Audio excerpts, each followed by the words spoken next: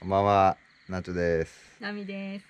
えっと、今、ちょっと、えー SNS を見てたら、あのー、海老野市内でホタルが出たっていう、なんか投稿があって、で、うちの、えーすぐ下に川があって、で、そこ、結構、毎年ホタルが飛ぶんで、えーちょっと見に行ってみようかなと 思ってます。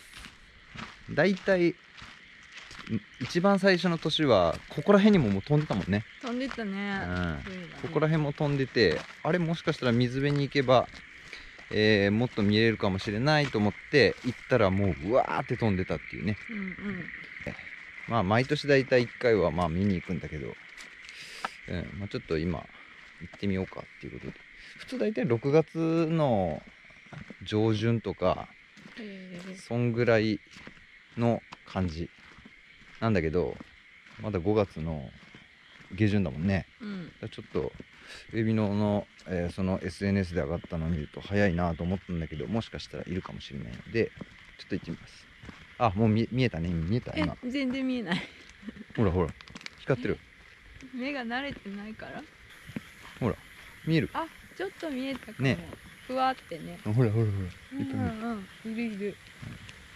もうね歩いて1分なんですよ 歩いて1分でホタルが見えるっていう川の上を飛んでる。そうそうほら結構見えるでしょ、うん。うん。うん足元ちょっと気をつけてねちょっとね暗いんであの僕らの顔とか見えないと思うんだけど懐中電灯ももうすぐ消します危ね今日結構あの月明かりがあるんであのそのうち目が慣れてきたらもう全然懐中電灯消しても OK だと思う。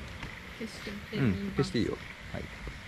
このカメラではあのちっちゃい光は多分よう映しきらんと思っちゃうけどあーでもそんないっぱいは飛んでねえな。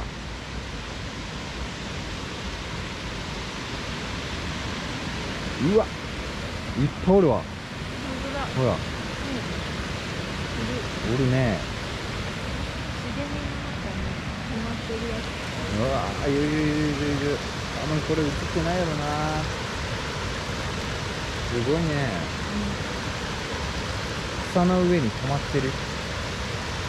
感じだねシンクロしてまあついたり消えたりとかする感じ。まだ少ないのかもしれない。もしかしたらあと、まあ、1週間ぐらいは見れると思うから。だいたいここはあのウーゴの散歩道なんでしょっちゅう来てるんですけど夜に来ることはまあないんで。でもちゃんとあれやね草刈りしてくれちゃうね。ああだけんここら辺はちょっとさすがに草ぼうぼうか。あおるわおるわおる。ほらちっちゃいのが。これ光っちゃる。時間帯あるっていうよね。そうやってよ時間帯があるとよ。これうわーって出る時間帯があるとよね多分ね。うん。あおったおった。あいつちょっと撮るか。必死で動画に映し込もうとしてるけど。2匹おるね。うん。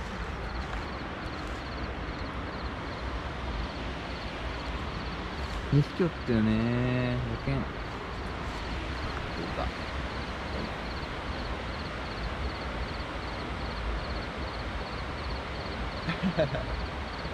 あ飛んだ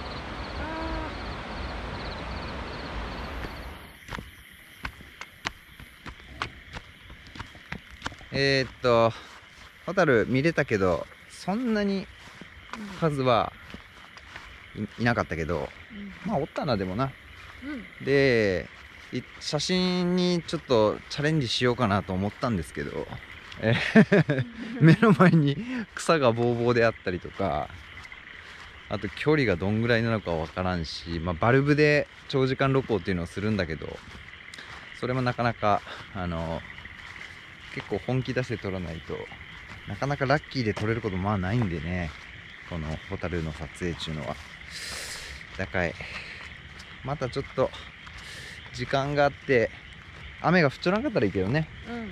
雨が降っちょらんかったらいいっちゃけどちょっとね、えー今日晴れちょったからよかったんですけどまた今週雨が降ったりすると思うんで撮影できるかどうか。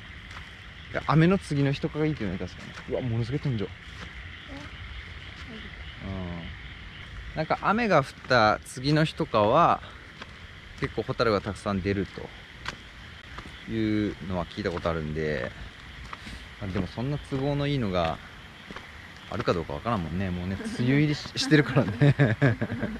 う んあの視聴者さんからあのホタルが近くで見れるんですねみたいなコメントが入ったんですが。いや近いも何も歩いても1分で見見れるという。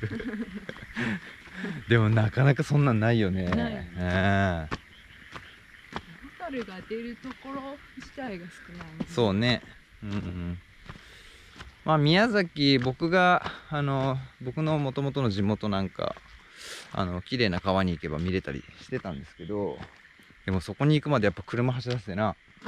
うん。うん、で結構人がブワーってきおるしだけんうちはもうほんとえー家を出てテクテク1分ぐらい歩いていけばホタルが見れるというありがたいことですね、うん、まあちょっとあの暗くて、えー、ホタルの光が見えないかもしれないんですけど、えーまあ、雰囲気だけでも 味わっていただけたらと思います。ということで、えーこの辺で終わりたいと思います。お疲れ様でした。お疲れ様でした